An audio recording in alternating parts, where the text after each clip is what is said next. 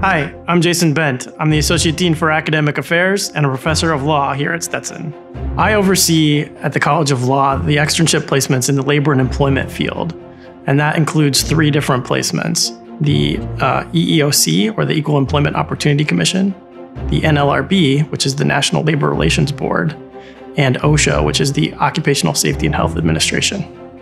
What I really want the students to understand about these placements are that it's a great way for students to get um, firsthand experience on the inside of a federal agency that's enforcing some of the major employment laws in the United States.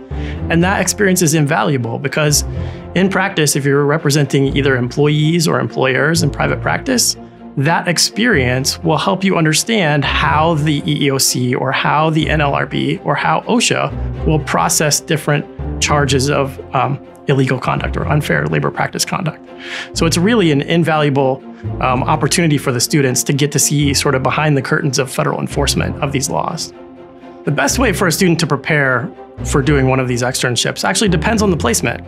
If you're interested in a placement at the EEOC, probably the best preparation would be to take the employment discrimination class because it covers all of the major federal anti discrimination statutes.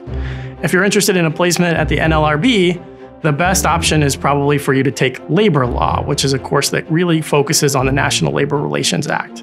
And if you're interested in taking an externship at OSHA, the best preparation would be taking either the employment law course, which covers uh, some of the OSHA materials, or um, possibly the worker safety law and policy seminar, which covers uh, occupational health and safety standards in, in greater detail.